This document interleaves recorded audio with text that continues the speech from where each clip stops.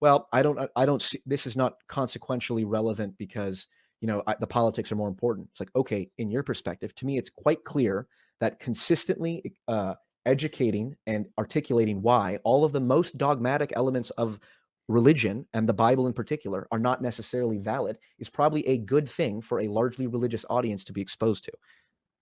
I I think with respect, I think this is unfathomable cope. The idea that Jordan Peterson is acting as some kind of de-radicalizer for religious fundamentalism by publishing a bunch of videos. So, um, my position is pretty straightforward.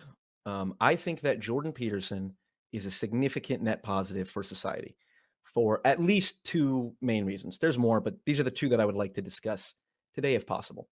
Uh, number one, he provides simple, practical, and effective psychological advice, and he does it in a way that is well received by tens of millions of people uh, all over the world, actually.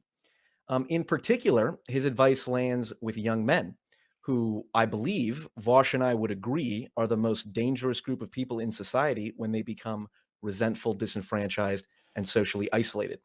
Most of the violence, obviously, on the far right is perpetuated by young men. And most of the people who hijacked the Black Lives Matter uh, protests and turned them violent, for example, were also disenfranchised young men. And so, if Peterson, who's a clinical psychologist, is providing clinically effective psychological advice on a mass scale to the people who need it most, then that alone, I think, puts him pretty squarely on the net positive side of the equation. Um, I am genuinely curious to hear if there's any advice that Peterson gives to anyone that Vaush disapproves of. Uh, the second main reason I think Jordan Peterson is a net positive has to do with his ideas about religion and morality. Uh, this is something that hardcore atheists take great issue with Jordan Peterson. This is something that hardcore atheists uh, take great. Yes, repeated it twice. Great, great start. They think he enables fundamentalism by using religious language and being vague about it, um, and being vague about whether or not he believes in God. And my claim is that Jordan Peterson is actually doing more than anyone to undermine and neutralize religious dogmatism, which is a potential exaggeration, maybe not more than anyone. So I'd like to discuss that. And so those are the two main points, and we can talk about whatever uh, Vaush wants to bring up. To be clear, the reason that I say Jordan Peterson is a net positive for society is because he does a lot of things that I think are bad, and I will be as quick to condemn as Vaush. Uh, for example, I completely disagree with him when it comes to his hesitance around allowing transgender adults to seek medical transition. He did not say that it should be illegal, but he also said he wasn't sure if it should be legal, which I think is ridiculous.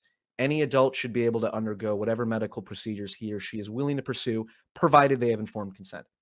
Um, I also think you can make the case that Jordan Peterson is literally the worst Twitter user ever if you factor in wasted potential and um, just unnecessary boomer old man rage. But overall, I don't think that comes close to outweighing the good he has done on net. He's certainly not a gateway to the alt right. Uh, he's not a religious fundamentalist, and he's not even in remotely the same conceptual universe as Andrew Tate, which I have heard some people make allusions to. Um, despite the fact that Peterson, like everyone, including myself and Vaush, and especially Andrew, has said dumb things, I think he is genuinely trying to do as much good as he possibly can. And anyone who approaches him with even a relatively open mind will come to the same conclusion. Uh, and lastly, I just want to show my cards a little bit. I am coming into this debate very biased um, because I have gotten a lot of uh, mental health help personally myself from watching Peterson's lectures. Um, he is in part what uh, drove me to go to therapy a couple years ago, which is a, a, good decision. And there is, a, in my opinion, there's a part of me that uh, that gets resentful about you know having to defend that as a straight white male i needed mental health help and i got it from a youtube video um, lecture and then went to therapy and while i think there is a justifiable indignance i feel when people say for example that jordan peterson is a nazi or uh, a terrible person the fact that i'm biased towards him does not absolve me of the responsibility to be open to legitimate critiques and if anyone can levy a legitimate critique against Jordan Peterson, I bet it's Vaush. So uh, thank you to both of you guys, and I look forward to this. All right, thank you for that opening statement, Vaush, Go ahead. The clock has restarted. You have seven minutes on the clock. You can use all of it, as little bit as you want, whatever you want to do. Yeah. So um, I'm glad that you fronted and preemptively addressed the "he's a bad Twitter user" argument. That was my that was my uh, golden bullet there. Uh, aside from that one, though, there were a couple of things. So it's it, we're we're talking net positives here, and the problem ultimately with discussing the potential value of a psych advice is that he is primarily known for and popularized by conservative political arguments more so than self-help. He's known as a self-help guy, but he became famous because of his fallacious opposition to Bill C-16 in Canada. He's now a part of the Daily Wire network, you know. Um, the, the, what he's known for, what he talks about, um, it is at this point primarily conservative propaganda, which you know obviously I disagree with. When it comes to the self-help stuff, I have read some of 12 rules for life not just the snippets online but a little bit of it because i was curious to see what it contained. And i think that for the most part a lot of his psychological prescriptions are fairly inoffensive. I don't think they're revolutionary or groundbreaking. I'm glad that some of the messaging in there is somewhat popular with people who are interested in hearing it. Um, I guess the the issue here is this is kind of like the um, you know the goat fucker problem, right? Like you build a thousand bridges and you fuck one goat, and I feel like we're we're we're talking about um, a, a, disproportionate sliver of what the man does and is responsible for. Um, if I were to evaluate him purely on his psychological credentials, you know, uh, what value there is to that, I would say that whatever good there is to the positive psychiatric advice, I think, is offset by the fact that he will invariably, by proxy, wisen these young men up to conservative politics, uh, which I think are harmful not only to the world, but also to their mental health. Um, it seems like it kind of self compensates in that respect. I also take great issue with his emphasis on individualism as a way of distracting from systemic issues. You know, he's famously said you shouldn't critique the world unless your own house is in order. And I, am okay with messaging on the subjects of uh, independence, self reliance, uh, discipline. That's fine. I think those are good, wonderful things. Uh, but the message, like you shouldn't attempt to engage in systemic critique unless your house is in order. Well, everyone's house isn't in order. Nobody could nobody could beat that standard. Um, it seems like a way of dissuading people from engaging in the kind of systemic change that could actually address a lot of the issues people need people like Peterson for. You know uh, kind of like they make jokes about how Peterson is a surrogate dad for a lot of people who didn't have a good relationship with their father. A lot of people say that insultingly, but I don't think there's anything morally wrong or shameful about having grown up without a good father figure, right? But ultimately, I hope we could agree that the ideal would be a world in which there isn't a bunch of people uh, who feel that way, you know, addressing the underlying systemic cause there seems like a, a more worthwhile goal. And if he's impeding that process, then you know, I don't know. And finally, I'll just say on religion and morality, um, it's I don't really take issue with his use of religious terminology when it comes to his moral denunciations. I, I think that we tend to see stuff like that in flowery poetry anyway. So uh, you know, it, it seems like it's um, kind of unavoidable, especially with somebody as verbose and eccentric as him. And I mean that sincerely. Uh, but his system of morality is fucked. His his actual like system of deciding what is or isn't moral seems really incoherent in a way that uh, normally leans towards the validation of conservative ideals, and that's like because the the whole point of like religious justification of moral systems is that now you can assign a kind of supernatural or metaphysical importance to your beliefs. And if you're doing that in a really bad direction, I think you're, you're potentially doing a lot of damage. I would rather have to deal with bad secular arguments against, say, the existence of, I don't know, gay people than religious ones, because you run up against a logical wall with the religious ones. Eventually, you can't convince people past a point because it's metaphysically justified. Anyway, those are my points, and uh, I need no more time. All right, appreciate that very much. Before I open the floor up, just let me remind the audience on whoever wherever you're watching that uh, we will be taking call-ins tonight and also send in a super chat if you have a question for the debaters as the debate is going we will be getting uh, to all those and getting all those fielded last thing i did want to quickly address before i open the floor up was Vaush brought up the goat fucker analogy, which is essentially to say, and I just want to make sure I got this right, Vaush, that you can spend your entire life being a great builder, for instance, and build the greatest of all cathedrals. But if you fuck one goat, you're not known as the cathedral builder, but as the goat fucker. Is that correct? Yes. Or as the okay. um, self help advice guy. Right. I always I I, I have a my own version of saying that one, but I th- I think it's a funny one. I must admit. Anyway, gentlemen, the floor is open. Go ahead. Sure. Well, I think lobster fucker would be more appropriate for Jordan Peterson than goat fucker. But um I guess okay, it sounded like you don't so just to be clear, you don't have any issue with any moral prescription that Jordan Peterson offers from a self-help or psychological perspective. Is that correct? Well, I don't have them all listed in front of me. I'm sure if you were to, I could find Anyone. specific ones I disagree with. Um, I doubt I would agree with everything he says there, but the offensive stuff from him, the stuff that I really take issue with, um, is the broader political stuff. Um, he has said Sure. some stuff on the self-help train that I do explicitly disagree with, like the aforementioned um, make sure your house is in order before critiquing the world kind of thing. But generally, when I critique him, it's not for the self-help stuff. Yeah, well, the point about I think his order, yeah, his rule is uh what is it? Get your house in perfect order before you criticize the world, which I think is the worst rule he's written because no one's house can ever be in perfect order. So the implication is that you can't criticize the world. If I were if I ever had the opportunity to ask him one question, I would say, "Why did you purposely put the word perfect?" You sh- I think you should set your house in order. I think you should generally get your own life together before you go about starting to criticize and offer solutions for massive problems when you can't even solve the problems that are right in front of you in your own life. So I think that's the underlying message. Um, I guess what is uh I don't you said it leads his self-help leads to conservative values, which okay, depending on how you define conservative, maybe. Uh and I know that you are not a conservative. I don't think anyone would be surprised at that, but I don't conservative does not mean bad. Um, I think you'd have to explain what you'd have to explain what advi- what uh behavior his advice leads to and why that behavior is bad.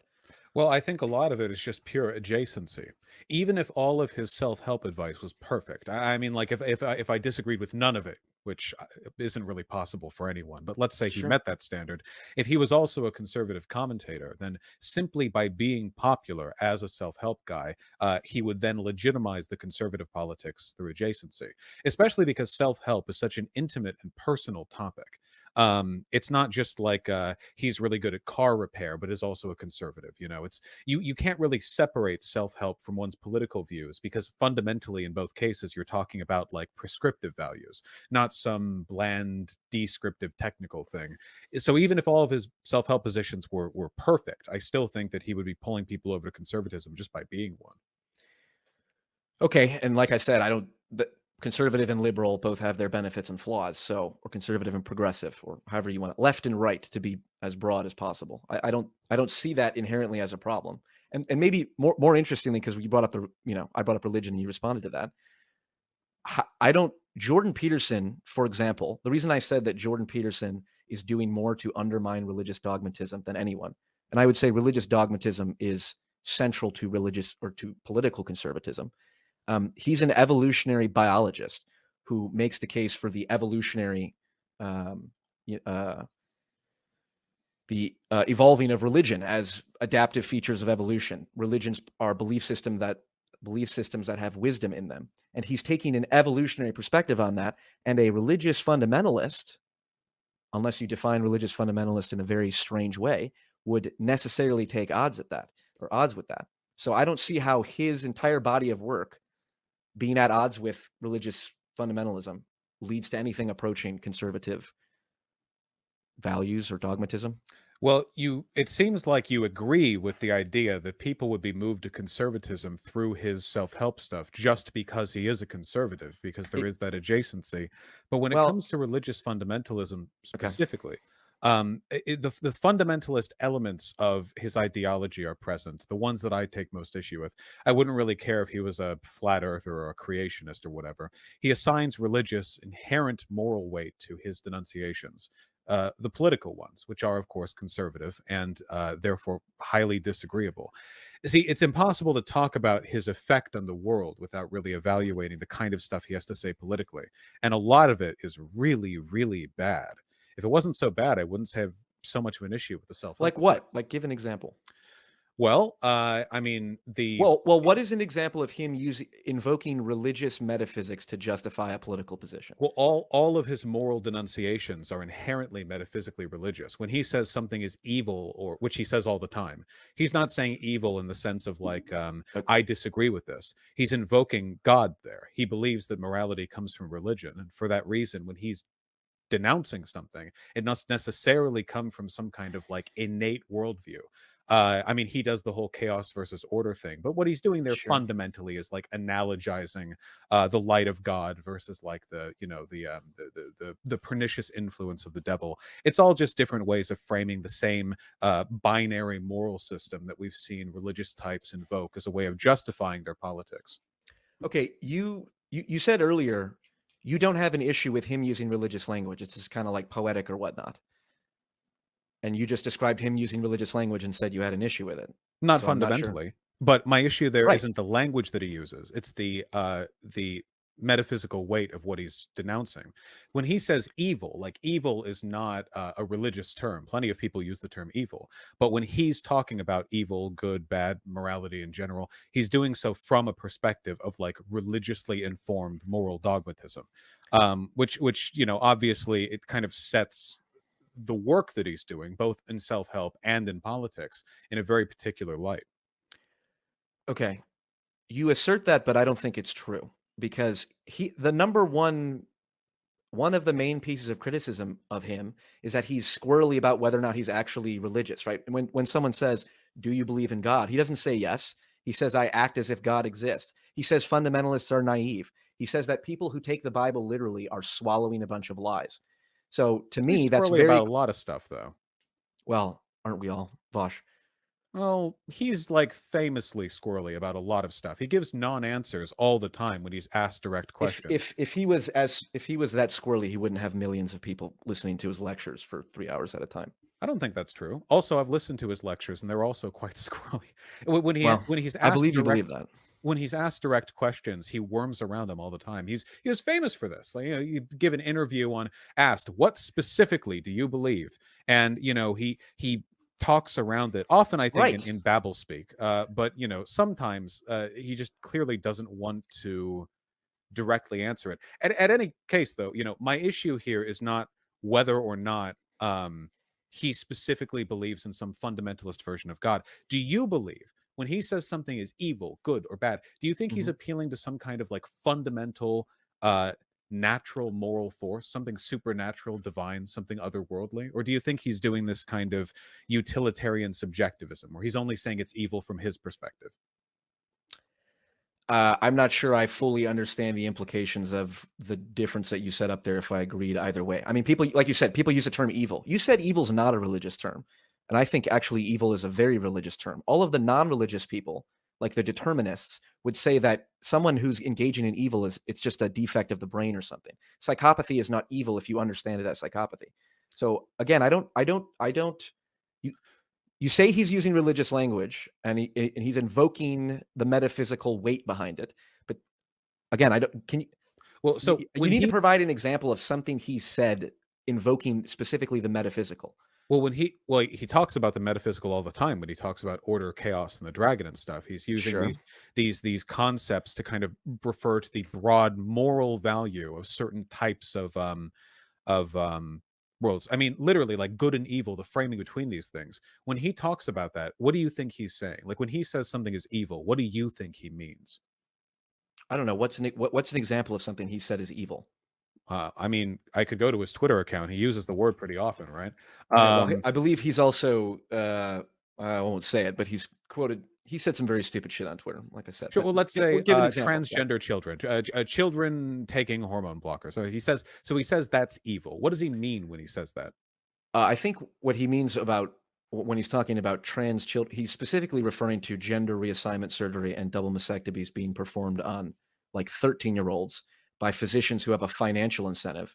And when when he says that's evil, um, I I think that's to me that's self evident why that's evil. Just Well, we're- like we're it's self evident why someone abusing a child for profit is evil. Well, we're loading a lot here. So a surgeon is a job. So if they're doing the job, Mhm. they're doing it with a profit motive. Um, but he's he has not specifically said, like you said himself, he is denouncing the right for adults to pursue uh, gender affirming surgery, No, which means he said that, he wasn't sure whether or not it should be illegal okay. Well, even you took time to call out that behavior of his, so we Right. agree then that and has a- specify what he said. a bugbear with what he um with with the the issue of access to trans but let's say specifically like uh a 16 13 year year old olds getting their breasts cut off. okay so let's say like a 16 year old uh trans chick is getting hormone blockers which is the thing that can happen you can do that it's possible um in such a case when he says this is evil uh, and he has said stuff like that is evil not just 13 year old double mastectomy whatever but he's applied the term there as well I don't think Uh that's true. Not about 16 year olds because he's a fan of Ken Zucker's work, and Ken Zucker does prescribe puberty blockers for 16 year olds. So what he says is evil is 13 year olds getting their breasts removed. So Um, no, I don't agree. It's the 16 year olds on puberty blockers. Didn't didn't he go after Elliot Page, who was in his um twenties, saying that it was maybe morally wrong for a public figure to be trans because it could like corrupt the values of people broadly? No, he said he would have left Elliot Page alone had she not like made it a big deal and flaunted it. And he his argument was he's a celebrity. Why? Would how not? many He how many people how many people did Elliot Page convince to pursue gender surgery than they otherwise might not have because of her? Which, you know, it's like again, I I think that was a rage tweet, but the, the let's stick with the argument of 13 year olds. We know for a fact it's not disputed. I could pull up the studies right now from the Journal of the American Medical Association that 13 year olds are having their breasts cut off, double mastectomies, and then followed up with six months to two years later, and it's considered a success. So Jordan Peterson says that's evil. To me, that's self evident. I don't think I've actually ever heard a story of a 13 year old getting a double mastectomy. I'm sure you could find some cases, but we would I- be talking maybe like single digits for that age. That'd be that's really far down. Why Well, what- at that on, age? whether- how- why would you even get a double mastectomy when you're still going to experience breast growth? That's, That's- kind of weird. that's there's a number of weird things going on. But hold on, to say it's a small first off, uh, it, it may be a small number, but to say it's a small number doesn't eliminate the moral weight or severity of it. Well, then, why, then why are we talking about like such an incredibly small minority of like why why can't we just say like Well, this so- is what that's the response that conservatives say when why are we talking about police shooting unarmed black men when only about 20 unarmed black men are killed per year? because we're talking about a it- broader because systemic issue. Exactly. That's why we're talking about the the 13 year old double mastectomy. Okay, but what we're really trying to talk about is what Jordan Peterson means when he says evil. So you say it's self-evidently evil that that happens. What do you mean when you say evil? I I mean the same thing when I say someone abusing a child is evil. I don't feel like I need to explain myself in that regard. I well, I'm asking you to explain yourself. What do you mean by evil? What but what does that term mean to you? Uh, yes, we can see that, Andrew. Um, I don't know. When I say the Nazis um, gassing Jews in the Holocaust was evil, do you honest? Are you are you being serious right now? In that you're you want me to explain that as if it's not obvious? I, I want you to tell me what you mean when you say evil. What does the word evil mean? What system are you referring to when you say something is evil? What what's the It's The- very very the weight. bad. It should be avoided at all costs. okay? That's what I like mean by evil. right, but why? Like what? So you say something is evil, so it's bad. Okay, Right, but like, like- why? By what system? By what system? Like how do you know if something is evil? How do I know that when Hitler rounded up the Jews and put them in gas chambers that that was evil? I, I don't know. There's a, there's a I get a funny feeling, I guess, when I uh, hear that, and I think this sounds pretty evil to me. Do you do you understand? This is kind of a weird question. No, it's it's actually essential. Without grounding where your morality comes from, it's almost impossible to talk about it. Okay, well we we can have the conversation about moral realism, moral anti-realism, and maybe come back to this. But that's, I mean, this is kind of critical, right? When it comes What- to do you believe in Jordan evil? What do you mean when you do? You, do you agree that, for example, let's just take an obvious example we both agree on. I would assume Mhm. you you do believe that the not like what the Nazis did was evil, correct? Of course.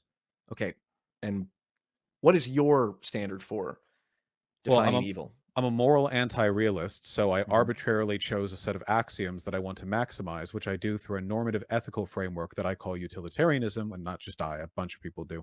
Uh, and then through utilitarianism, I try to determine whether or not I think something is good or bad based on the effects that it has. And evil is basically just a strong word for bad in this case. I don't think that Okay. evil has a distinct meaning. I just Sure, think it means that's bad, how I use it. Sure. That okay. That's how I'm using it. Very, very bad. Right, but so are you a moral anti-realist I as mean, well? I, don't know. Certainly, Peterson's been accused of being a moral anti. Anyone who doesn't. Oh, that's debate- that's definitely not true. Jordan Peterson has that's a very. absolutely true. He's accused of being postmodern by all the religious people. Does that mean he is? It's not like religious types are that philosophically educated. Well, I think some of them. I agree that some of them aren't, but I think some of them are pretty well educated. Um, I, w- I- Look, I, am kind of confused. I'm kind of confused. This was this is the whole this is the this is the conversation we're having. You say Mhm. Jo- your problem with Jordan Peterson. You know, he he he invokes metaphysical religious presuppositions or something like that, which I say he doesn't do, and I don't. And you haven't given an example of how that's the case. He just he uses evil in, as far as I know, the way that you're using it, very very bad. And it's it's and what I don't understand is But for- why is it very very bad? I don't. uh, Why is? Because i- his assessment for whether or not something is good or bad has nothing to do with mine. Do you understand that you're like we have to we, when we come into a conversation we have to come we have to have some level of agreement on the underlying rules that we're operating by the presuppositions and for example the nazis are bad and we'll Mhm. use that as the example like i don't I, f- I feel like i don't need to explain myself I- i'll use it in the same way very very bad Wh- whatever you said utilitarian i believe in maximizing good jordan what's jordan peterson's meme motto uh, minimize unnecessary suffering. Jordan Peterson's a strict utilitarian in that regard. Then, so he's- so if we're operating in the same framework. then it seems kind of odd that the stuff he says is good or bad all the time has very little to do with what's actually harmful. I mean, In you want opinion. to you want to denounce his Twitter behavior broadly, and I, I mean, he does Mhm. come across as kind of a, a crank sometimes on it. But like the the most prominent times that he's gotten in trouble on Twitter recently, where he randomly called a fat woman like ugly and said that authoritarian beauty standards wouldn't convince him otherwise. Yes, I believe Um, he said not beautiful, which was a mistake, and uh, I, I literally made a video saying actually I think Right, and quite he beautiful. continued with it with the videos he made. And then he made a video with his daughter. Um, and imperfect. That's and no there was the the Elliot Page thing where he Mhm. seems to adopt the position that it's morally wrong for a celebrity to be trans because other people might be trans because of it. no. He's saying it's wrong to celebrate it, flaunt it, propagate it out to thirteen-year-old children who, So as, who, wait, who don't could don't very well be it. Wait, influenced wait, by that. Don't don't overload it. Elliot Sure. Page just took a picture. So Elliot Page is trans and just like took Mhm. a selfie. sure. Okay, so and his opinion, and I, I don't think he should have tweeted that about Elliot Page, but I'm I'm explaining his thought process for going back to what's evil or not. His his point is there is appears to be a social uh, epidemic of a lot of children in particular converting or going undergoing gender therapy when it's not correct for them the Tavistock Clinic, which is the biggest clinic in the biggest gender assignment clinic uh, in the UK, was shut down. It's being sued by a thousand families. Scandinavia, I, I could, I have to double check on Scandinavia banning puberty blockers, but they've certainly recommended a wait and see approach, which is the opposite of the affirmative care model. There's over the next year and they're two, wrong. Yes. Yeah, well, over the next, we'll see. Over the next year or two, there's going to be numerous stories, and I've talked to people already who've been in this position of people who thought they were transgender, underwent uh, uh, medical transition, and then regretted it. And it's because, well, this, you know, the regret rate is one percent. That's what the studies say. If that was the case, you wouldn't have a thousand families suing the Tavistock Clinic. Yeah, you can. So that there's current. The point, the point, and we, and and to be fair, I'm I'm asserting this, and you're asserting the opposite. We'd have to actually look at the studies. Oh, and, we you can know, we look at the studies directly. Something like 98% of people don't regret their uh, gender related surgery and hormone treatments, which is a level of acceptance several times higher than that of hip surgery. That's Uh, the overwhelming majority of people who detransition as well detransition due to uh, running out of money or lack of social support. I think it's something like 70% in total. So of the so we have like 98% are not are, are satisfied with their medical so and so. And then of the 2% remaining, a majority of those only detransitioned because of a lack of the resources or social care they needed to keep at it, um, leaving a very small minority of people lower than that of the regret rates of almost anything else. Um, there's a reason why medical standards trend towards the affirmative care model. It's because it's the one with the most supportive data. The UK closed down that clinic, those clinics, and the lawsuits are happening not because of medical research, but because of politics. That happened after a prolonged multi year campaign of conservatives uh, lying about the effectiveness of gender therapy and gender treatments. Um, and what follows the you said Scandinavian, it's one of the Scandinavian countries. I don't remember which one. They did move to more of a wait and see model for puberty blockers, and the reason for that was in part the citation of the UK clinic shutting down. So all this suggests to me that this is politics. Uh, Sweden, Sweden it is. Um, it's politics at play, not medicine. So Okay. it seems to me like we, we're at kind of like an ethical. Can I respond to that? Well, I just want to say what Sure. Jordan Peterson is talking about. We were talking about the Nazis earlier, which I think Well, is very apropos. Hold on. Before we Jordan move on, I want to address. Let it, hang on, Paul. Let it, Paul. Let him finish. Oh, I just want to Okay. finish, and then I'll be done really quick. Okay. Jordan Peterson was saying that Elliot Page was a degenerate. The Nazi theory of degeneracy is one in which pervasive social harm and corruption, usually through liberal progressivism, is spread from person to person like a disease and has to be cut off uh, at the root and burned out in order to eradicate entirely. That is what Jordan Peterson was saying, that Elliot was spreading degeneracy by promoting those uh, elements of himself. Okay. There's a couple things I want to say. First off, he never said degenerate. That never showed up in his vocabulary referring Never to Elliot said it. No. Okay, so that was wrong. And everything else you said regarding the studies, I'm aware that that's the perspective that people have. That's 100% wrong. Those studies are as valid as the Lisa Littman study that suggests rapid onset gender dysphoria is a social contagion. So you can assert everything you said about it's the regret rate is 1%, the social transition rate or the people the re, the reason the, the reason that people cite when they detransition is because of social regret. That is all 100% wrong. And Can you prove that? in this is so this is an open challenge to you or anyone watching. I am more than happy to pull up the study. We can't do it in this debate because we didn't prepare for this ahead of time. We'll pull up the studies on screen go through every single section of the study and i and i am utterly confident i could be wrong but i am utterly confident that not a single person can defend any of the studies that are suggesting that that imp, that imply any of the statistics that you just put forward. So we have to we have to have a separate discussion for that because it's just a he said, he said, un- unless we pull up the studies. And I'll be we honest, can I bring them up right those- now. A lot of these studies have thousands or even tens of thousands of respondents, whereas the study that you referred to, the one that talks about rapid onset dysphoria or whatever else, Yep. uh, that was just polling a bunch of transphobic moms. That's what. Okay, here's what I'll, I'll wrap this because and Andrew, we we can't we let's have whether it's you or whoever, let's have this discussion where we send the studies in advance and pull up ahead of time Then wait, just said, tell me said. why they're illegitimate. Then we, if if we don't want to go by for the same reasons the Lisa I- went through the meta-analysis that uh, I think Rose Rist put together some time ago 50 Cornell studies every single one of them was as flawed as the Lisa Littman study Okay, for the same reason the sample Lisa, bias so wait, the Lisa Littman study was flawed because all they did was ask the parents who they found from transphobic online forums and developed a new social theory based on what they heard, complete hearsay Yes. from those people. Whereas the studies Mhm. I'm referring to are meta analyses of uh, individual studies of- that did the same thing Wait, no, no, no. We're talking about clinics reporting satisfaction rates from their clients. That are flawed studies you Wait, gave an example wait, why. Lisa Littman's study is flawed because it I- it, it went I to, just uh, explained it to you. So you can't ask the moms of a social group that you want to target, especially if you're recruiting them from bigoted online sites. But Sure. what and I'm talking equally, about- equally, hold on, let me respond to that exact point. Equally, if you're conducting a study that says the surgery was successful, you cannot have a sample selection bias of only the pro-trans websites, and that's exactly what They- every wait, single they're- study. wait, wait, wait. They're not. Wait, these weren't pulled from pro-trans websites. they were. They I were. no, no, no. They weren't.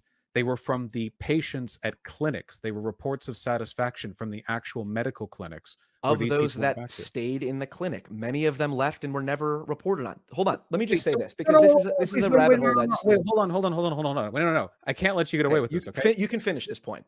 the fact that you're comparing so the Lisa Littman study its own thing we're talking about the same standard of analysis and medical accreditation that we would use for any kind of surgery or medical care satisfaction process. That's you have a certain number of people at a clinic and they all get a certain treatment and they report their satisfaction afterwards and then you add those numbers together and you get results. We use that system for every kind of medical treatment. And now somehow for this specific issue it's an illegitimate way of ascertaining the regret rates well uh, based on what evidence. What's the issue with it So, like I said, so hang on, so hang on, so hang on. We need to tie this in somehow to the topic at hand, which is Jordan Peterson, and that's that's not where we're at. We've kind of gotten off into we need the to move on from this. This subject. so I'm not I'm not moving into save anybody, not save anybody, but we have gone way off into the weeds here. So Vaush, did you have a way to tie that into Jordan Peterson, or was that like kind of a standalone point, or what did you have in mind with that? Well, if we're if we're talking about morality, what we're talking about ultimately is like my my thesis here is that Jordan Peterson's uh, interpersonal advice is massively outweighed by the harm of his political positions. And if he's spreading essentially Nazi doctrine when it comes to uh, transgender people and their medical care, uh, and that people are believing that doctrine because they they trust him on the twelve rules of life or whatever, you know, I think that's a pretty strong case for overall harm. Yeah, I mean that that's that's a valid point, Paul. So sure. It is it a valid point? Um, the idea that he's spreading. So, just to put a pin in that. Again, the next time we cross paths, Vaush, we can exchange studies ahead of time, and instead of the audience going, "I don't know if I should believe Paul or I don't know if I should believe Vaush," we'll pull up the studies on screen and walk through them. Otherwise, it's a he said, she said. But to your point about did, what is it? He's spreading Nazi what propaganda or something does so i believe you have said that jordan peterson is a nazi literally is that correct Um, I think that he enables Nazi ideology. I don't think he's interpersonally a Nazi. I think he's a fascist for sure, though. i see you think he's a fascist Yeah, He's pretty consistent in this regard, um, especially Yeah, with his go ahead, Daily Wire explain that. videos. what, what's an example of uh, something that he has put forward that is a fascist idea Um, well, I would say the the theory of social degeneracy is a pretty straightforward one to begin with. Um, but if we were to go beyond that point, uh, I would say that his um, constant talk of cultural Marxism, another Nazi theory, uh, and his obsession with the decay of the West, the decline of the Western civilization. Um, these are very common fascist framings for modern political uh, revival movements. Um, obviously, his general support of the conservative movement and working for Daily Wire, a fascist organization, doesn't help. I mean, at this point, he essentially works with the fascist press, so that seems pretty, pretty direct, um, as it were. But no, it's I don't.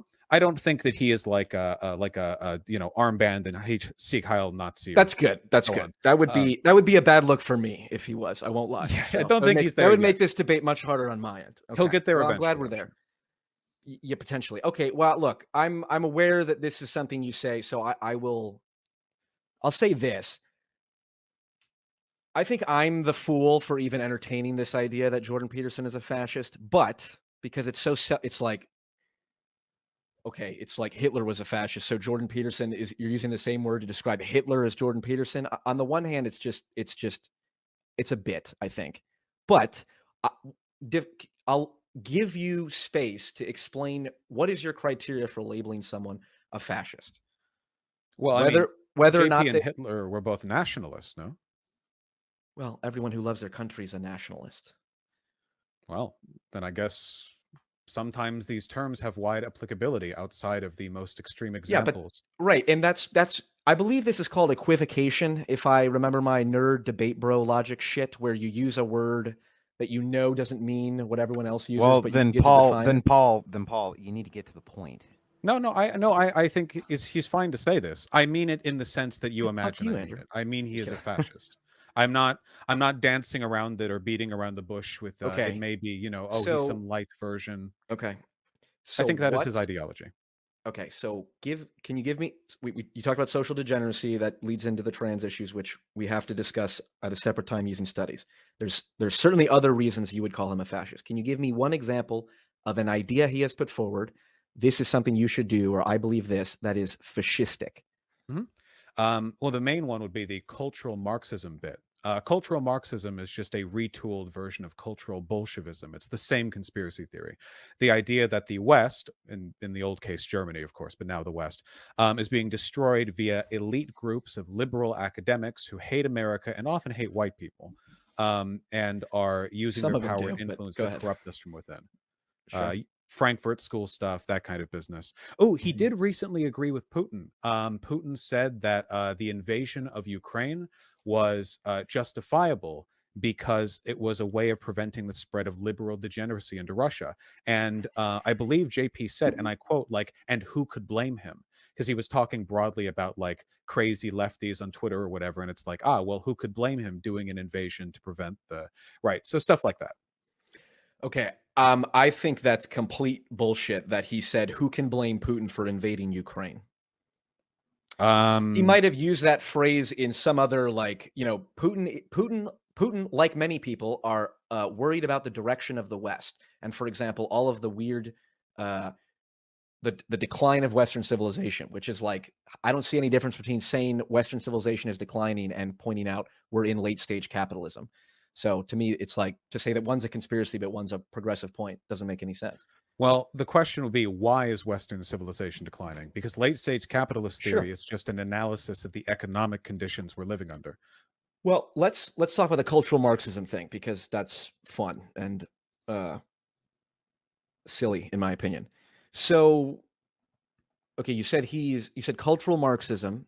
Jordan Peterson has used the term cultural Marxism. He really uses the term postmodern neo-Marxism a bit more, which we can talk about postmodernism because you you yourself are a postmodernist, correct? Uh, uh, probably it's yeah, it's complicated, but yeah, I, I'm highly sympathetic to their their influences. That sounds like something a postmodernist would say, but that's fair. Um, so is so the implication is Jordan Peterson. First off, I disagree that he's using culture when Jordan Peterson talks about cultural Marxism. He's not referencing a Nazi conspiracy. He's referring to the impact of Marxism on culture, which is exactly what it sounds like. Which And- is what the Nazis were talking about. Okay, well, the Nazis were not big fans of well, Israel didn't exist yet, but the Nazis were not big fan of uh, Jewish people, and it's like, okay, if uh, if Ilhan Omar uh, pushes for BDS, um, boycott, divest, sanction Israel, does that make her a Nazi because she agreed with Nazis? Well, I don't think there's anything wrong with protesting Israel, but if she was an anti-Semite, I would say that's definitely a parallel between her and the Nazis. Yeah, but the the evidence that you're citing for Jordan Peterson being an anti-Semite is that he's repeating the talking points of Nazis, and I could just as easily say anyone I'm who criticizes Israel is repeating the talking points of Nazis. I'm only saying it's true. the same conspiracy theory. The idea that Frankfurt School academic intellectual communists Uh-huh. um, infiltrated American culture and are destroying it from within. That's what I want to know. Why do people believe the West is in decline? I'm not entirely sure if I understand that. Our GDP is skyrocketing compared to that of China's, India's, and well, broadly the rest of the world's. We have the strongest military. I I, I don't know what people mean when they say the West is in decline. For a Marxist, that's a remarkably capitalist defense of the growth of the West, saying that the GDP has gone up. I believe mental life expectancy is going down. Mental health issues are increasing rapidly. People are uh, deleting themselves to be TOS friendly at increasing rates. There's more and more polarization. The, the idea that what what what is what are people referring to when the civilization has decline? To to me, that's an indication of how um, you might not be paying attention as close as you could because I Well, I- I do- that there are a lot of I mean. I'm being Well- kind of facetious here. I know that when people talk about the West being in decline, they're usually talking about um, cultural Marxism, immigration, uh, Muslims, and leftism. I see a lot of West is in decline stuff whenever um, you know you see like uh, drag queens, for example, because the the West is in decline because they're wearing uh, frilly clothing, for example. I hear the West is in decline in response to a lot of stuff. Um, if the West was Okay. truly in decline over mental health issues, I'm not entirely sure why conservatives are so opposed to the concept of SSRIs uh, or therapy broadly. Um, it Well, seems like certainly Jordan Peterson is the opposite of that. He specifically says that if you've got mental health issues, you should give SSRIs a try. Uh, sure. He's a in- clinical therapist himself. in that respect, he might be better than the average conservative milieu, but the fear mongering slightly the West kind being in Nazi, decline. but not a? A slightly kind Nazi, but not an all the way bad one. Oh, he is. I stand by the fascist accusation. Again, he talks about cultural Marxism on and on and on and on and on. Okay, Uh, so are the- people who support Jordan Peterson, does that make them fascist by implication?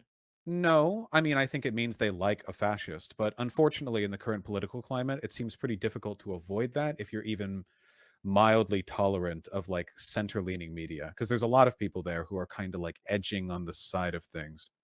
Okay. Okay. The re- the reason I'm pondering for a moment is because you understand what you're saying, what you've been saying the past few minutes is very different from what you say in many of your videos. Would you agree? Well, I call him a fascist in those videos too.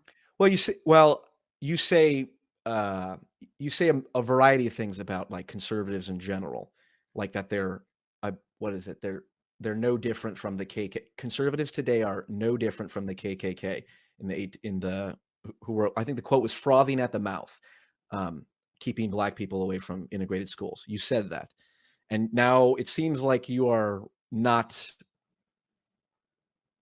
standing by those beliefs and taking it back and hiding your power level a bit. No, I still stand with whatever it was I said back there. I don't think there's much of an ideological difference between a modern American conservative and a member of the Ku Klux Klan. Um, it's just a continuation of existing ideals. You know, it's not exactly a um, like a, a, a conspiracy that there was like this hu- huge wave of Ku Klux Klan support that was kind of backed by conservative politicians at the time. Those politicians lasted a long time too, and a lot of their ideological forebears, right up until the civil rights movement, you know, they were pretty open and friendly with a lot of really obviously anti-black stuff. And then civil rights movement happens, the act gets passed, and uh, can't say the N word anymore.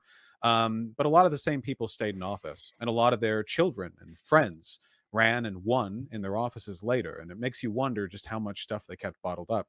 At any rate, the ideology is still remarkably similar. So Xenophobia my- and nativism are the big driving forces of modern conservatism. And I think Mhm. Jordan Peterson plays into that uh, uh, quite a lot as well, uh, So- largely with the cultural Marxism bit.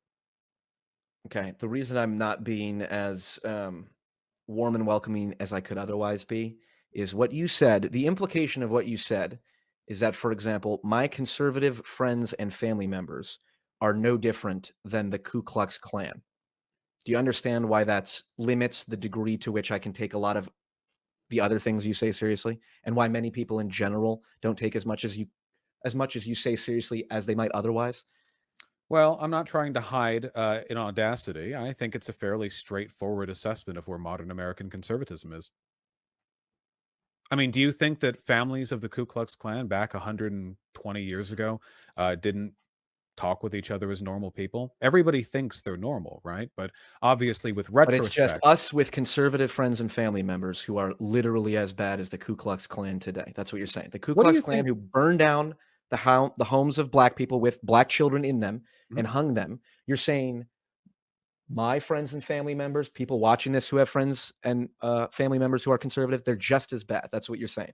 Well, nowadays you would instead cheer on a racist policing system that's used to disproportionately inflict violence against black people. So you've sort of delegated the the violence to a, a system, a very expensive one at that. Sheesh, at least the you know taxes didn't pay for the KKK.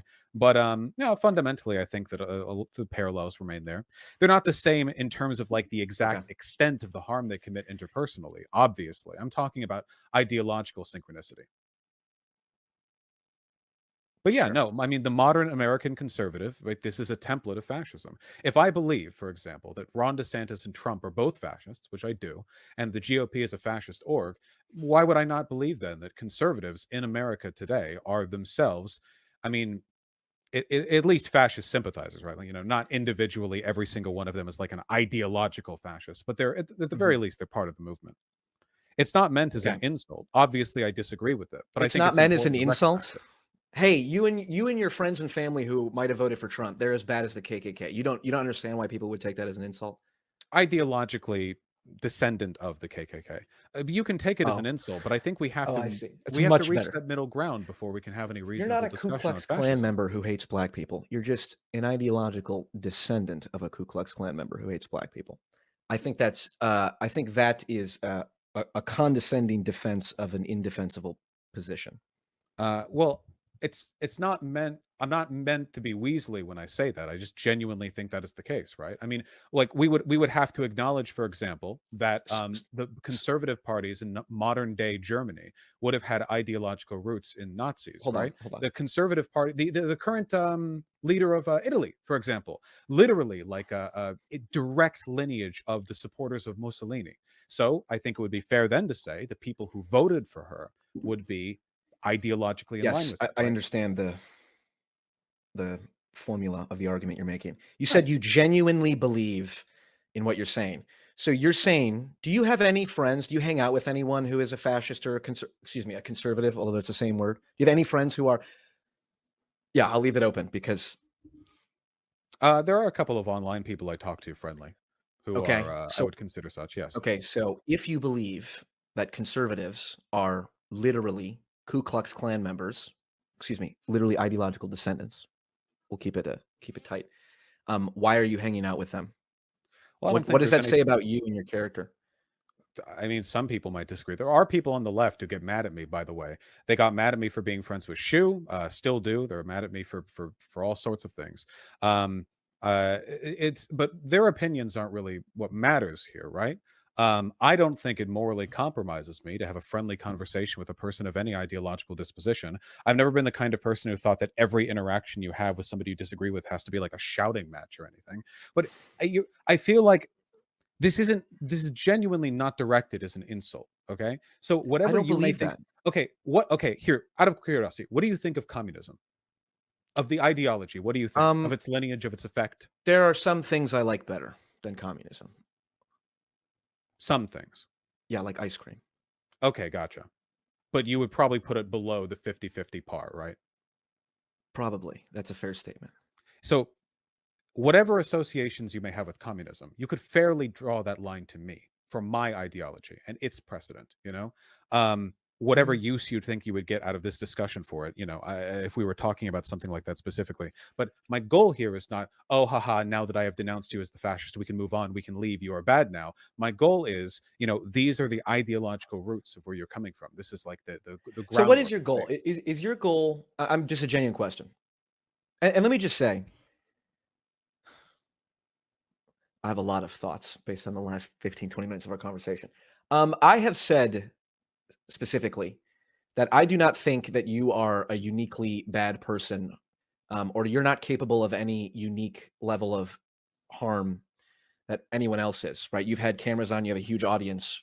So naturally, the impact of everything you say is going to be worse, but there's nothing unique per se about you. In fact, that's central to Jordan Peterson's whole um, body of work is that each of us have the capacity to be a Nazi camp guard. And had we been in Weimar, Germany, uh, it's likely that most of us would. And so you have to understand that capacity for harm. And so I'm actually the reason I'm I sympathize with what you just said about, you know, just because some you disagree with someone doesn't mean you need to have a screaming match with them or whatnot. You can still be friends with them.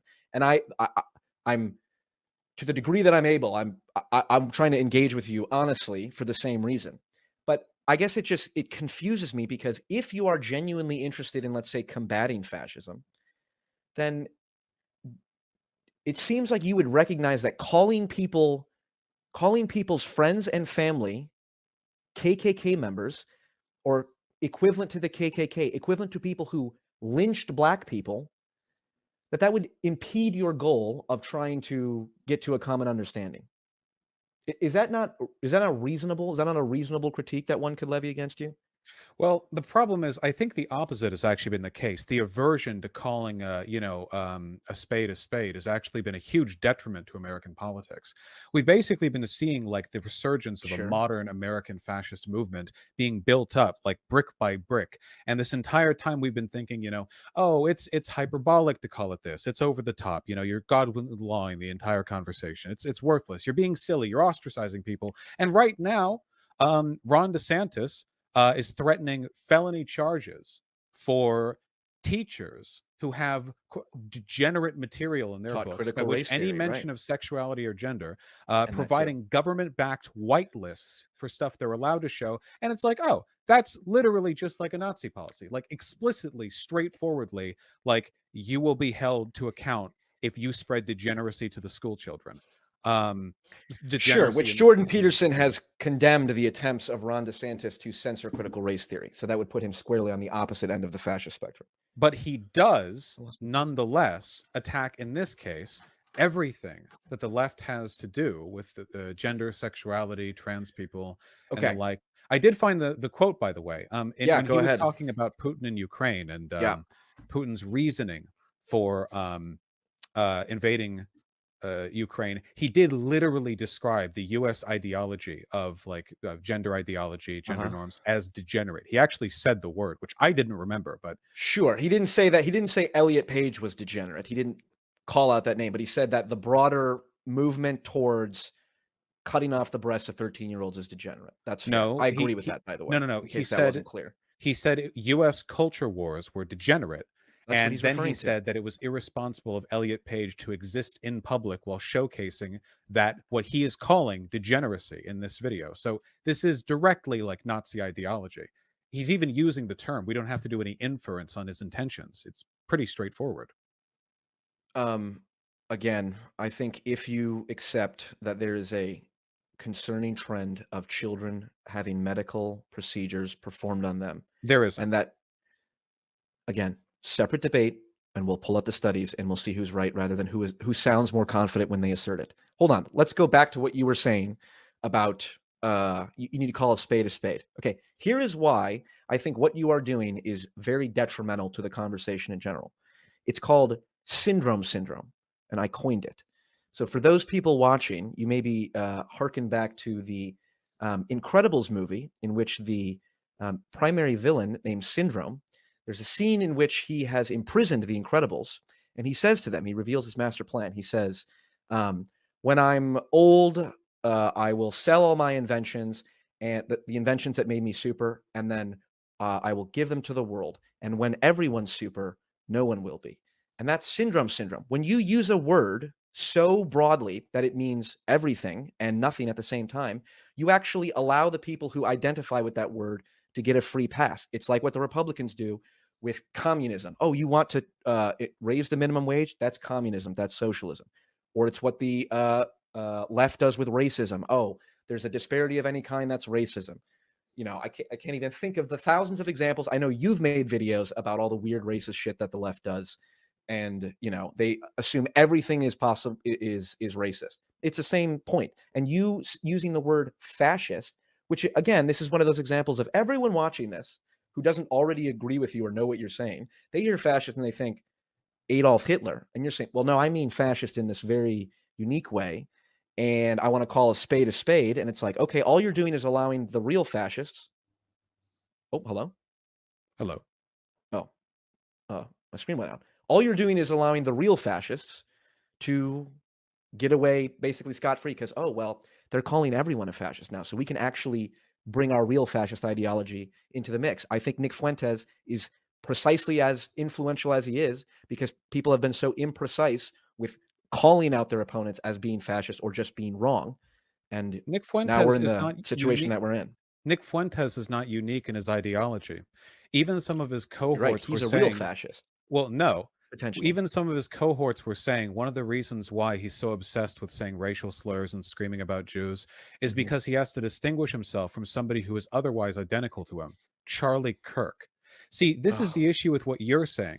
the You only bring person I can't stand more than Nick Fuentes indignation, but in Joke. reality, the ideology. You say fascism is some unique thing? No, No, I said the way fascism is one you of- use it is unique. No, I don't. I use it by its standardized definitions, or at least one of Yes, them, uh, because Jordan all political Peterson ideologies have. Yes. See, all you offer is indignation. Liberalism is the dominant ideology of this planet, but it is followed Mhm. very closely in second by fascism. If you take a look all over the world, China, India, Turkmenistan, the idea of ultranatalist, xenophobic, bigoted, ultranationalist, this isn't an uncommon. None of those apply to. Jordan Peterson, and he explicitly calls all of those out. Ultra nationalist Jordan Peterson. So this is the problem with Jordan Peterson. It's one of the reasons why talking about his ideology is frustrating.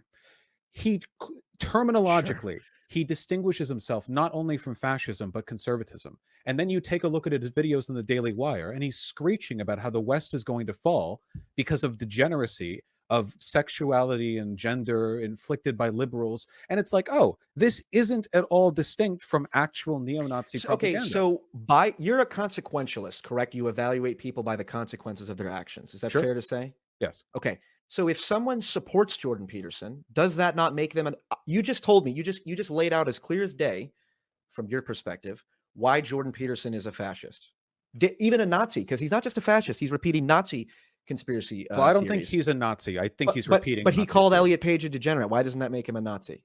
because I don't think that being a Nazi is just employing Nazis' theories on degeneracy. I think that you would need to fill a higher criteria than that. Good answer. Okay, but he is a fascist, correct?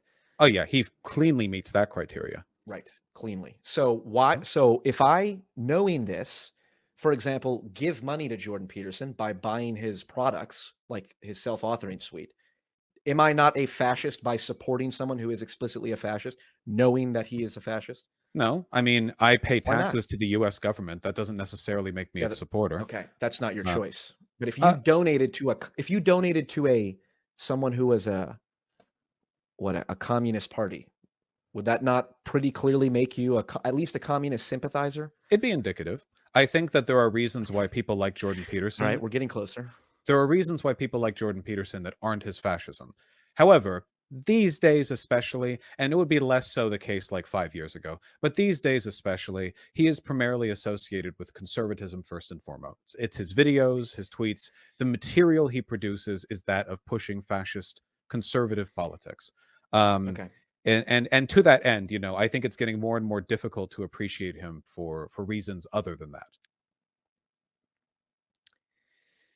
It's possible, though. I don't mean to completely denounce it. There are a lot of people I see sometimes in his YouTube comment sections under some of his videos who come across as um, politically unmotivated, but largely okay people. You can never really tell from a YouTube comment, but it's totally possible. That's fair. That's fair. Um, okay. Well, uh, I mean, uh, again, what what con- what confuses me in this debate is how confidently you assert. You said I only bring indignation to the conversation. It seems like you're doing the same thing where you say he's he's panicking about the decline of the West. He's repeating Nazi conspiracy theories. He's supporting fascist ideology. He's xenophobe. Whatever. He, you gave all of these reasons uh, indignantly and and made it obvious. And then I ask, well, okay, if I say knowing all that, or or at least having heard you said that, if I continue to support Jordan Peterson, how am I not also a fascist sympathizer? Well, you may, well, might be. I mean, it seems How to me how like is you are- anyone how is anyone who supports Jordan Peterson, let's say financially, not also a fascist sympathizer if they know all the things that you said? because they might not sympathize with his fascist views. They might just like him for other reasons. If we're assessing people, and yet despite that is it you're saying it's oh, so if you so if someone is a literal nazi ideologue or close to a fascist ideologue excuse Mm-hmm. me i don't want to be imprecise with my words. If uh, if someone is a fascist ideologue and i know that and i choose to buy their products there's nothing wrong with that from a consequentialist perspective according No, to you? I do think there's something wrong with it. Uh, what you're talking about right now is like the ethics of boycotting, and I don't really care that much about boycotting. I buy Coca-Cola products even though they've funded death squads in Latin America. I mean, I've bought Mhm. Nestle products even though they've done horrible shit in West Africa. Um, Mhm. I'm not I'm not big on the boycotting stuff. I mean, I guess it's good to avoid it if you can, but it's not. Um, yeah, I don't I don't know if it's good like line to run down. Um, but there are lots of people who support him for his political ideology. I mean, that would probably be like the majority of people who support him at this point. I mean, if I go like to the uh, the, the recent Daily Wire videos, it's, it's, he's not exactly unpopular in that side of things, right? sure well there's all kinds of people who are not exactly unpopular that on either side it doesn't say anything about anything they're saying Well, you, I mean, we we agree, if nothing else, that Jordan Peterson is a conservative. That's pretty hard to avoid. Not Um, really. I mean, he talked. Well, for example, let me. Okay, Jordan Peterson specifically says, just as an example, this is a very simple, straightforward issue. Jordan Peterson explicitly says being gay is not a sin, and and the fundamentalists who claim that and try to convert people are wrong. If he was a fascist, why would he not agree with that? Um, Why so would he not consider that degeneracy? So this is one of the problems with Peterson directly. So I'm going to leave aside obvious explanations like he's lying for optics, which I don't actually think is the case here. Um, well, why'd you say that was an obvious explanation then? Because it's always possible. I can't prove it's not the case, and conservatives lie all the time. But I don't actually think that's what's happening here. I we think, all lie all the time, but yeah, go ahead. Well, there are liars all across the, the board, but here on the Daily Wire, unfortunately, it seems to be a prerequisite for employment. Um, I think in his case, there's a kind of incoherence. And I actually see this decently often. Have you ever heard of the phrase, um, hate the sin, love the sinner? I have, yes. So it, it's a conservative religious mantra, right? Well, don't hate gay people. Okay. The, the, mm-hmm. the, the act of sodomy is wrong, but gay people themselves are fine. The problem is people who say love the sinner, hate the sin, or whatever, don't actually usually love the sinner. In fact, I remember, and you can look at this back to the 1980s where it was really common, that that that phrase, that attitude was often used as a way of scapegoating. It was like, a, oh, I'm not hateful towards you, just towards sodomy. Now get in the camp. You know, it was like a, it was like a, hey, all of our bigoted behavior here is purely a product of our ideological bias against an action, not you as a person. And I think in a lot of cases, this is what we see here. So Jordan Peterson will call gender ideology degenerate, talk about how it's irresponsible for trans people to exist in public because it's corrupting the youth, and mm-hmm. say that he sympathizes with Vladimir Putin for trying to keep Western degeneracy out. Mm-hmm. Putin, of course, being the leader who presided over a number of anti-gay laws in um, in Russia. But yeah. and then he'll say, "Well, I don't think homosexuality is a sin." My answer to this is, of course, is I don't fucking buy it being a part of the Daily Wire, which is full of people who literally full, like all of them, want to get rid of uh, gay mm-hmm. marriage, and they're standing toe to toe with them, uh, mm-hmm. supporting conservative candidacies and uh, their general ideological bent. Whatever he says here doesn't matter to me. It's the effect of his actions. Didn't you just say that you are friends with conservatives because you don't believe in what just shouting at people? What?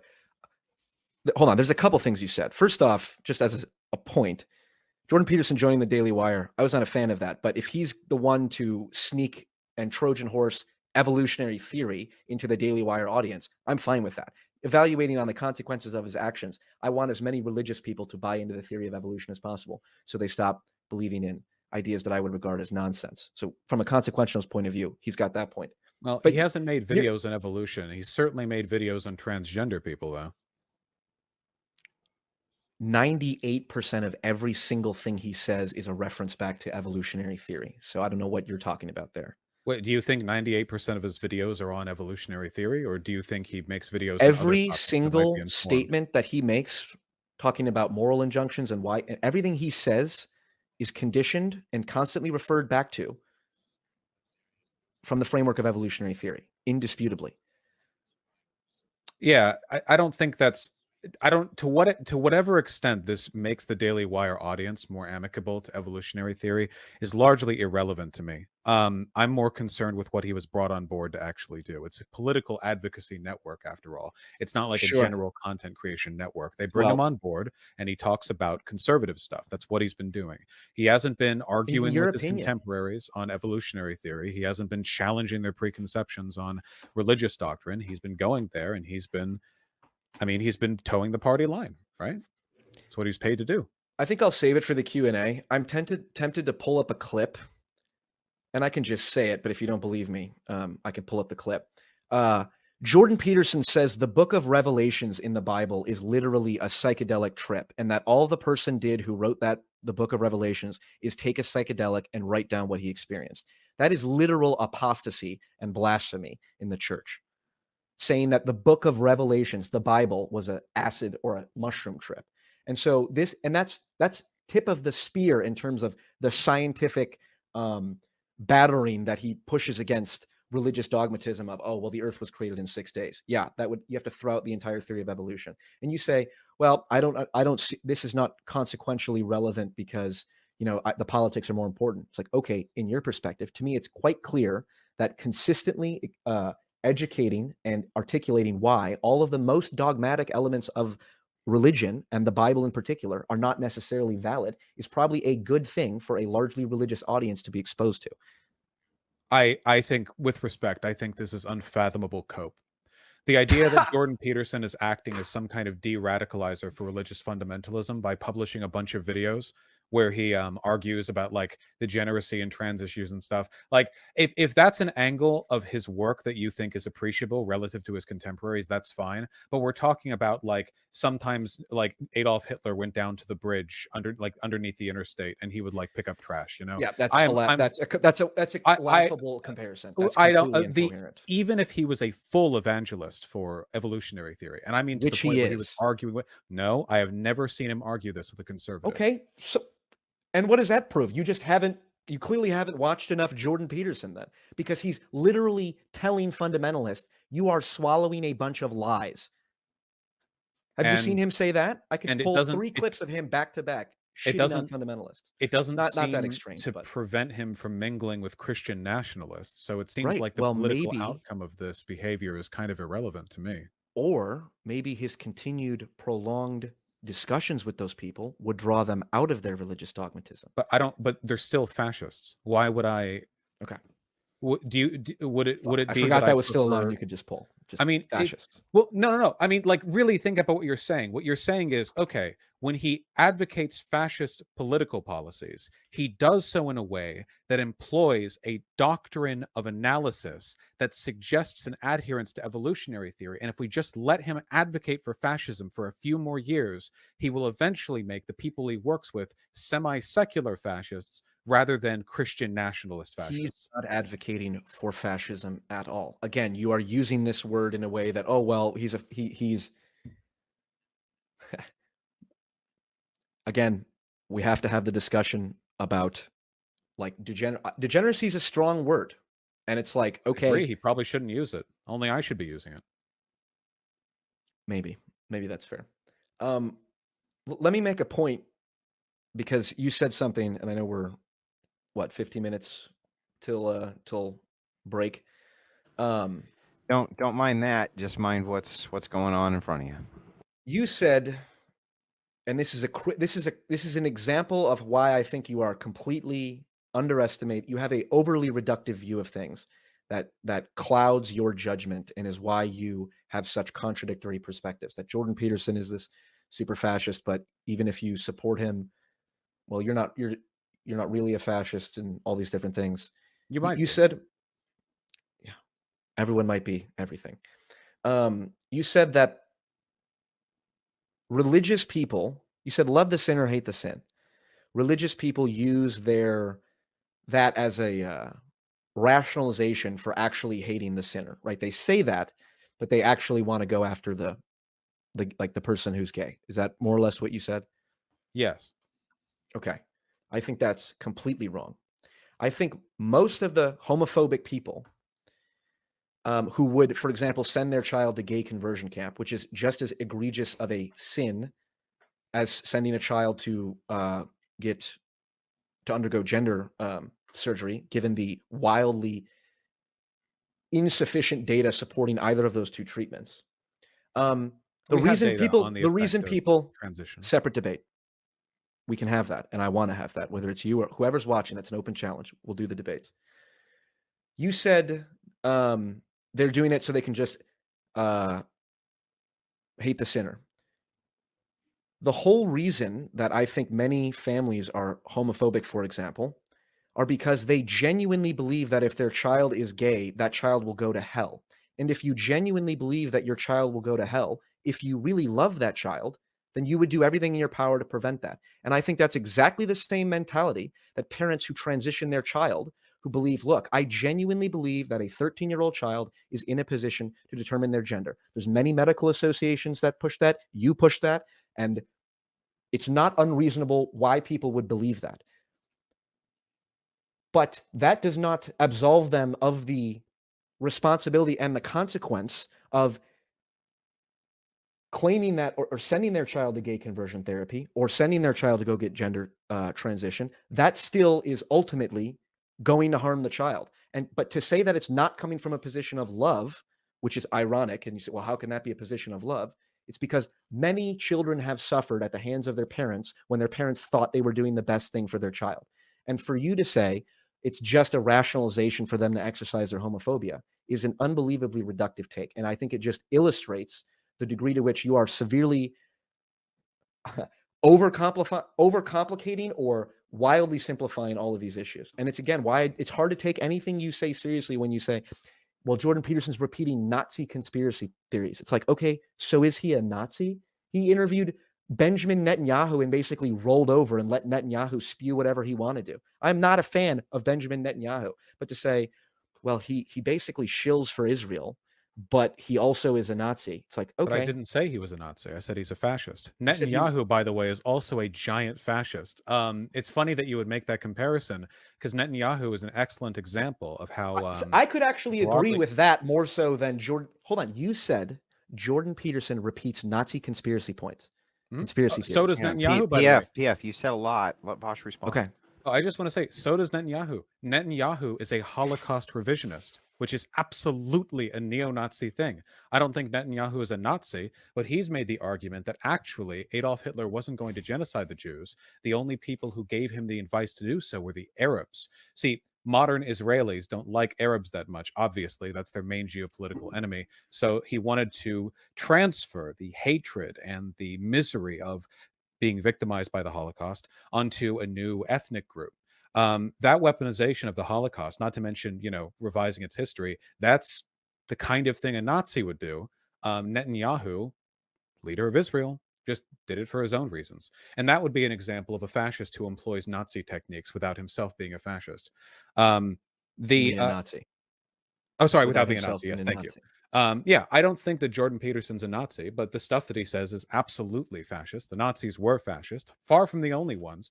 Fascism is remarkably common world around. We had a nice resurgence of liberal democracy sometime after World War II, and maybe more broadly since the fall of the Soviet Union. But honest to God, there is plenty of room in the world for fascist ideology to spread. I don't think it's exceptional to say that so and so figure is this or that, or that a group of people is motivated by ideologies which, uh, you know, directly inform the stuff they do and say now. People say all the time, I'm not racist, but I'm not sexist, but nobody wants to look like the bigot, but a lot of people are anyway.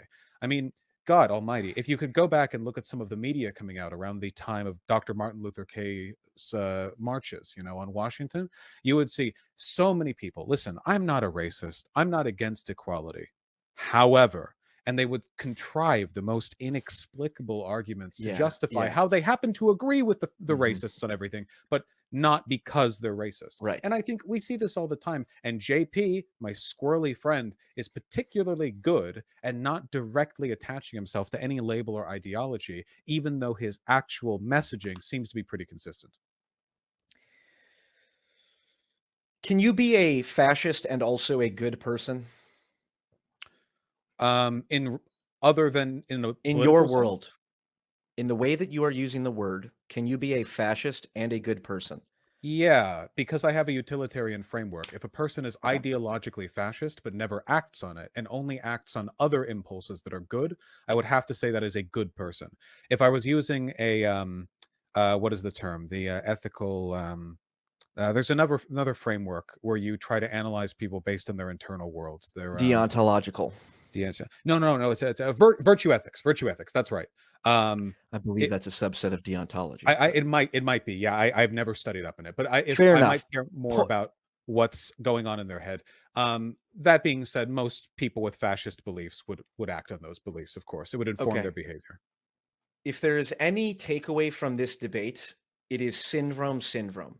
Most people, when they use the word fascist, mean not a good person like Nazi. Most people use Nazi and fascist interchangeably. Now you've added some nuance, which is fair. And based, if I a priori accepted your definition of fascism, sure, we could agree. But what you are doing is you use a word that you know is not is not in any way used by uh, the average person to then say, well, Jordan Peterson's a fascist. But you know, you don't say, well, you can be a good person and be a fascist, which I think is nonsense to the at least in my definition of fascism, which is interesting. So the fact that you have a definition of fascism that is more digestible and has more room for being a good person, I would argue actually, like I said, facilitates the rise of fascism because I think it's a terrible thing that should be limited and you should have a word to describe a specific phenomenon that needs to be called out. But you but don't it do isn't a specific phenomenon. It's a broad cluster of social and political influences. Not to it's most kinda- people.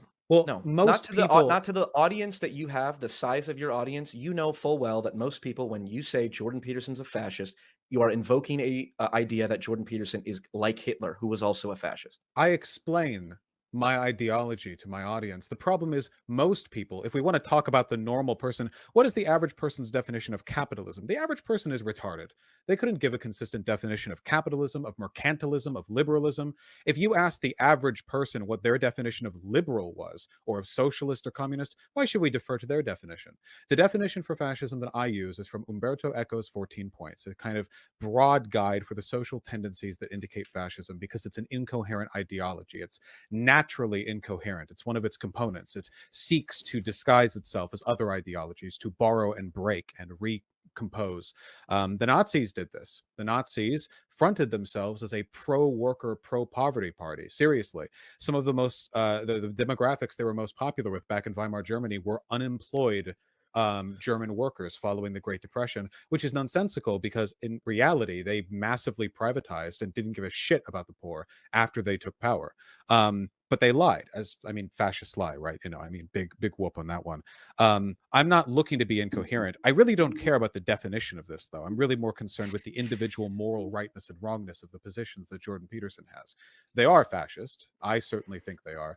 But even if we took away the label and we're just like, okay, in a vacuum, what do these things do? What do they mean? Well, I would still say they're very harmful.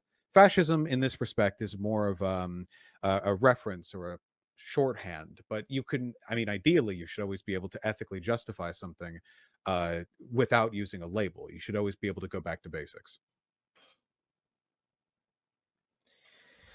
Um, I don't know. I don't think the average person is retarded, nor do I think that they're equivalent to a KKK member if they happen to be conservative. I just, it's very difficult for me to have to engage at the level that you are certainly capable of engaging on when you make these claims in the same sentence. The average person's retarded. Most conservatives are. All conservatives are lit- are absolutely the same as KKK members. Ideological. there's an impediment- though. That's a That's not what you said. That's not what you said. Do you want me to do you want me to read the quote that you said about conservatives? Um, sure, you're free to, but I've clarified in this conversation they're ideologically descendant that- of. You have clarified in this conversation. So now that you've clarified, let me ask you this. Will you going forward, now that you've clarified, assuming you recognize your mistake, will you label, will you go after this conversation, will you continue to make videos where you say things like conservatives are the same as the KKK? Um, well, I might say stuff like this is just like the KKK when I'm making like a broader analogy. My goal there isn't to be literal, right? I mean, I'm, I'm obviously trying to draw comparisons with specific aspects of their ideology. Um, but yeah, I mean, you can make a direct comparison between some of the actions of the KKK terrorist group and like modern day, um, like rural NIMBYism or Yep. like the um, an, an unwillingness to um, to provide space in cities and accommodate black or brown people. There's a there's a line there that the line doesn't mean that they're like one to one, but the line definitely exists, right? I mean, if, if you like, for example, you take a look at what the KKK believed in, right? They were the terrorist group, sure, but the stuff they did, you know, lots of people in the South back then agreed with it. I mean, that was kind of the point. They weren't like outlaws and hated by all the white folk down there in the South. I mean, a lot of people. That was the whole point of uh, Birth of the Nation, right? Like they were sympathized with. They were thought of as heroes. They kept uh, black control from spreading too far. And if you think, okay, if Birth of a Nation, a movie uh, just idealizing the Ku Klux Klan, can be popular at the beginning of the 20th century, and some of those folks then went on to live to the 1950s, 60s, 70s after loving that movie when they were a kid, where does the line stop? You know, like where does that connection break? And I think you can make a clear case that a lot of the reasons why folks liked that were the same they opposed Martin Luther King, the same reason they opposed forced busing, same reason they opposed a lot of stuff. And if you run it up, we're right here in modern American politics. It doesn't mean that it's just like Klan members bought out of ICE, but like there's a line there. and you got to pay attention to it too. People they have short memories. You let these ideologies die off. What just happened in Germany? Those um, Reichsbürger people tried to institute a new such and such because they wanted to build a fourth Reich. They weren't even sympathetic to the Nazis. They were sympathetic to the goddamn monarchy before the Nazis. So it's like, fuck. And you take a look at those analyses from the German government of how many of their police and military have far right militias where they want to reestablish the Fourth Reich, often like the forests and stuff. I'm just saying, you can't believe these ideologies die off. They're always there and they're always waiting. And you have. I've got one point, Andrew. This is the last point. No, no, everything. Make it in your make it in your closing statement. So I rambled like crazy. I'll, I'll Can I get thirty seconds? You get 30, 30 seconds. seconds. 30 seconds. Everything you just said sounded so very reasonable. And this is what you said 10 months ago. There are no good conservatives. If you have conservative friends and family, they are part of the problem. They are exactly the same as the KKK white nationalists who ran terror campaigns and who threw rocks at black people. Everything you just said, which was so very well articulated and very, you know, oh, well, this makes sense, is I don't know which Vaush I'm talking to. Am, am I talking to the one who tried to seem reasonable there or the one who said the, the conservatives are the same as the KKK? This is my problem in this conversation. All right, gentlemen, we're going to move into closing statements. Is Paul open first? I'm going to let him close last. Vaush, I'm going to let you close first. You have seven minutes on the clock. Go ahead.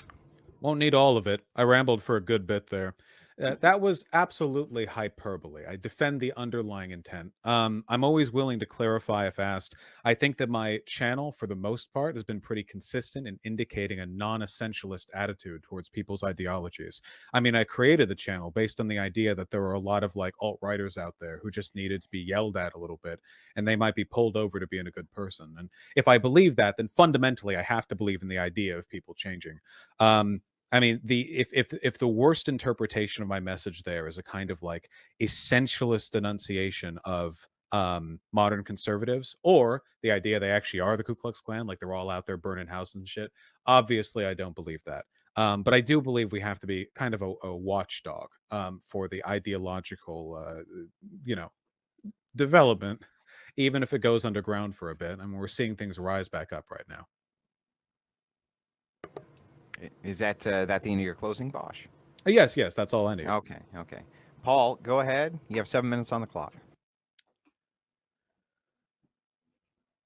Um, let's see. Um, I did not prepare a closing statement because I did not know how this conversation was going to go, and admittedly, there was a wide range of uh, ways it could have gone. Um,